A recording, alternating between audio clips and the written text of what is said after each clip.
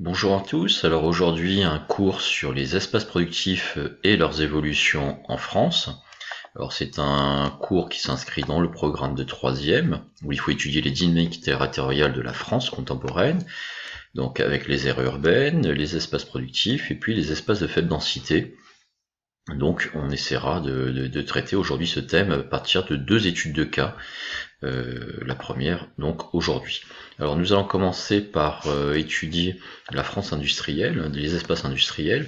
Alors traditionnellement, il y a une ligne de partage euh, de cette France industrielle et de cette France rurale qui est donc la ligne Le Havre-Marseille. Alors Le Havre-Marseille, en fait, on considérait que Marseille et Le Havre, qui sont les premiers et deuxièmes ports français, constituer une ligne imaginaire à l'est de laquelle se trouvaient les principales régions industrielles. En gros, elle servait cette ligne à délimiter une France globalement rurale à l'ouest et une France globalement industrielle à l'est. Alors aujourd'hui, cette ligne existe encore, même si elle est remise en cause, c'est ce qu'on va voir aujourd'hui euh, à travers ce cas. Alors elle existe parce que c'est vrai que au 19e, 20e siècle, euh, les régions du nord de la France, euh, du nord-Pas-de-Calais, les régions de l'Est et la région lyonnaise et parisienne concentraient l'essentiel de l'industrie en France. Alors c'était notamment le cas de, des mines de charbon et des mines d'acier dans le nord-Pas-de-Calais, dans l'est de la France. C'est le cas de la chimie euh, dans la région de Lyon, c'était également le textile dans le Nord-Pas-de-Calais. Donc vraiment, toutes les grandes régions industrielles françaises se trouvaient à l'est de cette ligne Le Havre-Marseille. Aujourd'hui, on voit une évolution. Euh, cette ligne est en train de s'estomper.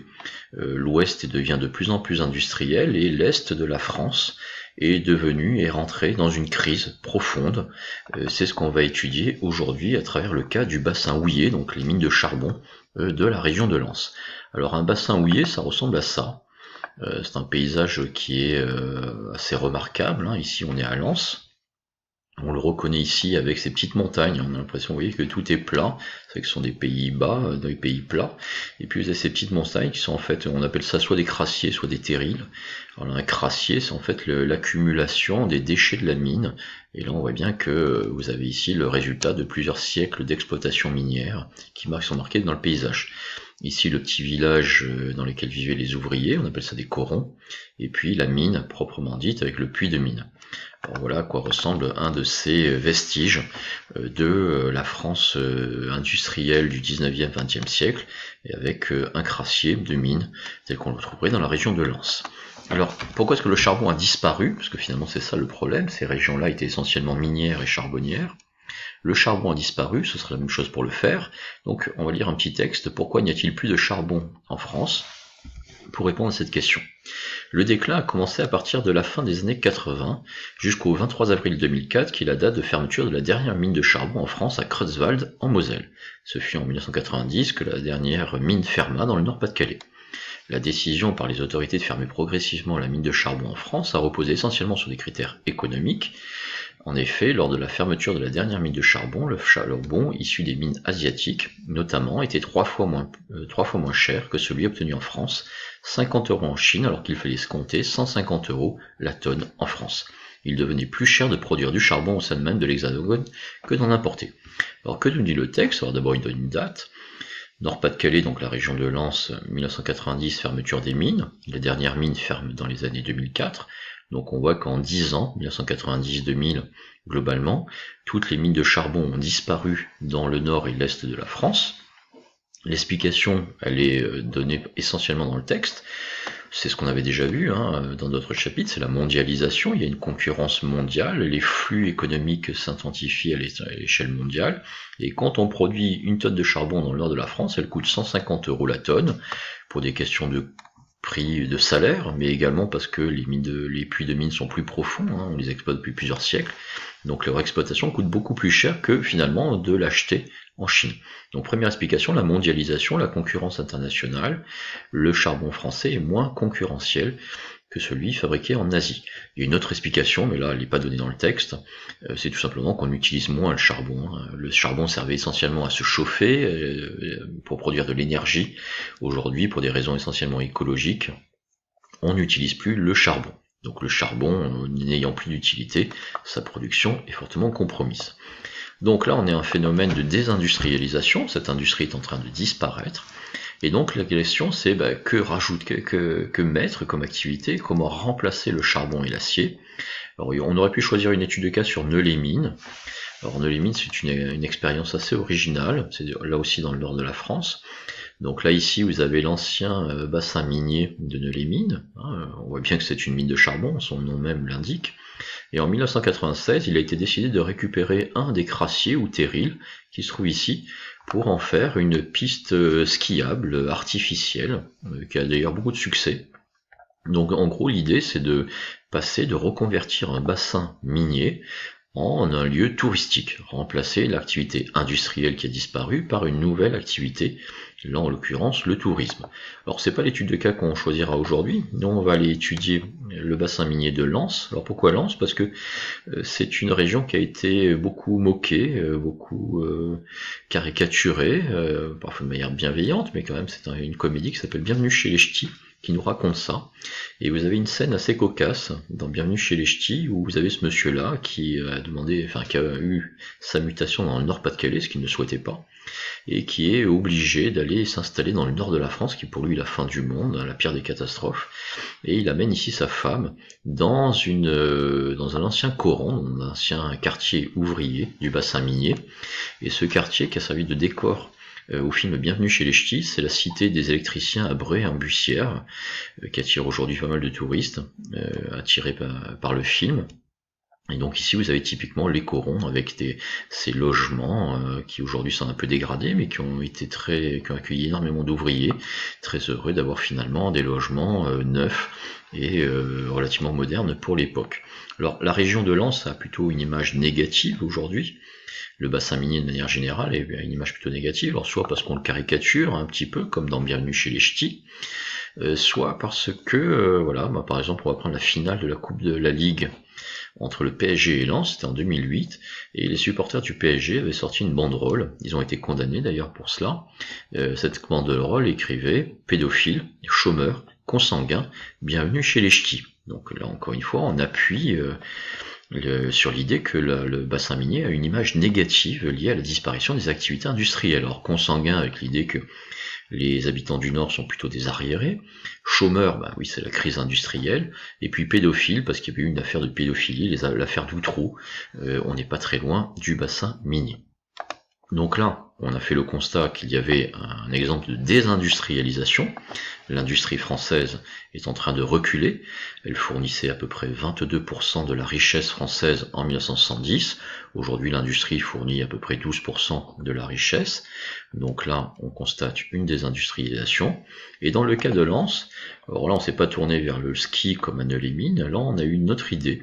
C'est de se baser sur la culture. Ce qui est très surprenant, hein, quand on voit l'image que possède le bassin minier à travers la finale de, Coupe de Ligue ou euh, l'image de Bienvenue chez les Ch'tis, faire baser sur la, la reconversion du bassin minier sur la culture, c'est assez surprenant. Mais l'idée est la suivante installer un musée qui s'appellera le Louvre-Lens, qui s'appelle le Louvre-Lens puisqu'il a été ouvert, et trouver un nouveau débouché, là encore ici, le tourisme. Donc on lit le texte, le Louvre-Lens pour redynamiser le bassin minier. À Lens, on vit au rythme des travaux depuis plus d'un an. En projet, un programme immobilier tertiaire, commercial et hôtelier de plus de 40 000 m2. L'ancienne ville minière se prépare à accueillir l'antenne régionale du musée le plus visité du monde, le Louvre. Des œuvres relevant des huit départements du musée parisien y seront présentées dès l'ouverture du Louvre-Lens à l'automne 2010. Donc là, le Louvre-Lens est ouvert hein, depuis 2010. Euh, l'idée est d'attirer des touristes. Et comment est-ce que ce musée va dynamiser la ville de Lens? Alors premièrement, modifier l'image, donner une image positive euh, de la ville, ce qui n'est pas le cas aujourd'hui. Euh, deuxièmement, une fois que l'image aura été modifiée, on peut espérer que cela attirera des touristes, donc il y aura des hôtels, il y aura des commerces, des restaurants qui vont s'ouvrir autour, et la, la, région va se reconvertir dans le tourisme grâce au Louvre-Lens. Alors le Louvre-Lens est expliqué ici, euh, accueillera euh, des centaines d'œuvres qui seront prêtées par le Louvre Paris, le plus grand musée français. Donc l'aventure dans laquelle s'engage le Nord-Pas-de-Calais, touché par un chômage endémique d'environ 15%, rappelle celle vécue il y a plus de 15 ans par Bilbao en Espagne, avec l'arrivée du musée Guggenheim. Euh, l'idée est la suivante, c'est que nous avons une région de très fort chômage, et si l'on modifie l'image de la région, si on apporte de nouvelles activités, ce chômage disparaîtra. Alors l'idée qui paraît folle, hein, construire un musée dans le bassin minier, elle paraît complètement folle. En fait, c'est pas si original que ça. En fait, ça a été inauguré en Espagne, à Bilbao, où vous avez un musée. Alors, je vais vous le montrer. C'est le musée Guggenheim de Bilbao. Euh, il ressemble à ça. Hein. Tous les élèves euh, qui font des voyages scolaires en Espagne sont amenés par le professeur d'espagnol vers euh, le musée Guggenheim. là aussi, on en avait une ville qui vivait l'industrie lourde qui a disparu on apporte un musée qui est très original, très reconnaissable visuellement, et puis on modifie l'image de la ville, on amène de nouvelles activités, et aujourd'hui Bilbao est une ville plutôt dynamique. Alors le Louvre-Lens ressemble plutôt à ça, il est beaucoup plus sobre, c'est-à-dire ce qu'on lui a reproché, il est beaucoup moins marquant visuellement que le musée de Bilbao, hein. il est un peu plus sage, on va dire. Hein. Alors que le musée de Bilbao, c'est vrai qu'il a une architecture un peu plus dingue. Si vous allez à l'intérieur, bon, moi je trouve ça plutôt joli, c'est pas la question, mais euh, là aussi on a beaucoup, beaucoup de sagesse. Hein. Bon, ça reste quand même le musée du Louvre-Lens. Hein. je ne sais pas si vous reconnaissez, mais vous avez un tableau que vous avez étudié en quatrième qui s'appelle La liberté guidant le peuple. Donc l'idée est donc un jour, il y aura suffisamment de tourisme dans le bassin minier pour reconvertir la région. En France, vous avez une autre ville qui mise tout sur le tourisme, donc sa ville de Marseille. Marseille, ville en crise, Marseille qui a aussi une image très négative, la délinquance et autres. Donc on a construit un musée euh, c'est l'architecte Rudy Ricciotti qui a fait ça en 2013, qui s'appelle le MUSEM, Musée de la Méditerranée, qui est construit en plein milieu du vieux port. Et donc on le voit ici, euh, l'idée c'est d'attirer les bateaux de croisière sur Marseille. Les croisiéristes descendent, ils visitent un peu Marseille, ils euh, voient le musée, et puis ils dépensent leur argent dans les commerces de la ville. Et ainsi on dynamisera la ville de Marseille. Donc, si on résume en quelques lignes ce qu'il y avait à voir sur ce chapitre, sur les espaces industriels, donc là on est dans notre première étude de cas, un exemple de région industrielle en crise qui doit se reconvertir. Donc il y avait une première idée qui est à retenir, c'est celle de désindustrialisation. Il y a des régions entières en France qui voient réduire ou disparaître leurs activités industrielles. Cela a laissé place à des friches industrielles, donc des usines à l'abandon, des terrains industriels laissés à l'abandon. Il va falloir réutiliser, réinvestir, euh, reconvertir ces régions, euh, ces friches industrielles. Et donc euh, la région de Lens nous a permis de voir ce que on, appellera la reconversion industrielle, c'est-à-dire la transformation d'espaces industriels en crise vers des activités économiques dynamiques. Donc on conclura temporairement sur euh, la région de Lens et les espaces industriels. On complétera ça par une région industrielle dynamique, la région de Toulouse et l'aéronautique. Un petit conseil de lecture, alors pas forcément pour les élèves. Hein. Je vous voyez, le, bon, le texte n'est pas très dur, mais c'est pas forcément pour des élèves de troisième. Là, c'est plutôt pour votre prof. Mais comme j'ai pris ce texte-là euh, pour euh, me construire mon cours, autant citer mes sources.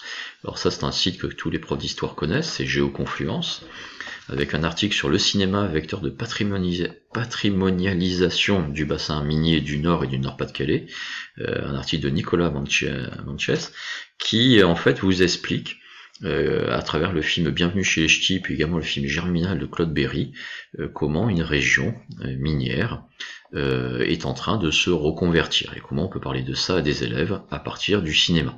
Ça, c'est une idée qui m'est chère. On peut parler, on peut réviser son cours avec des, un cours, son cahier, mais aussi en regardant des films, en regardant de la, BD, en lisant, en regardant la télévision.